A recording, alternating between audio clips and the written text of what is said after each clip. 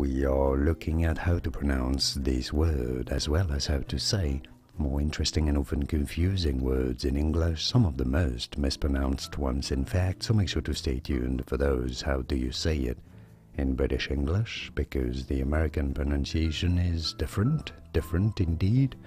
This is said as caulk, caulk in British English. In American English, however, it is normally said as caulk, caulk in American English versus caulk in British English. And now you know.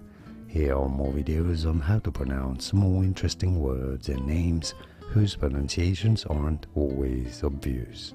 Do you know how to pronounce those correctly? You will after watching those. I'll see you there to learn more. Thanks for watching.